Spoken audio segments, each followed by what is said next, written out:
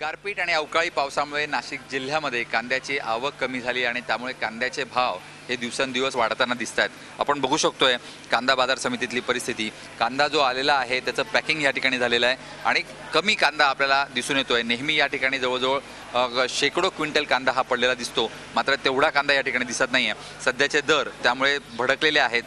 कमाल दर जो आहे तो पंचवीसशे रुपयापर्यंत गेलेला आहे आणि सरासरी भाव जो आहे तो अठराशे ते दोन हजारपर्यंत आहे. म्हणजेच शेतकऱ्याला अठरा ते वीस रुपये किलोने कांदा या ठिकाणी मिळतो आहे. काही ठिकाणी पंधरा रुपये आहे. म्हणजे पंधरा रुपये हा सरासरी दर शेतकऱ्याला मिळतोय. मात्र असं असताना बाजारामध्ये मात्र भाव पन्नास ते साठ रुपये किलोने विकला जातोय. मुंबई दिल्ली तसंच मोठ्या नगरां महानगरांमध्ये किरकोळ विक्रेते जे आहेत ते भाव वाढवून मागतायत वाढवून घेत आहेत आणि ग्राहकाला फसवत आहेत त्यामुळे या ज्या किरकोळ विक्रेत्यांवर आहे या नजर ठेवण्याची गरज आहे. सरकारने व्यापाऱ्यांच्या नफेखोरीवर अंकुश ठेवण्याची गरज आहे. व्हिडिओ जर्नलिस्ट सोनू भिडेसह योगेश करे झी मीडिया नाशिक.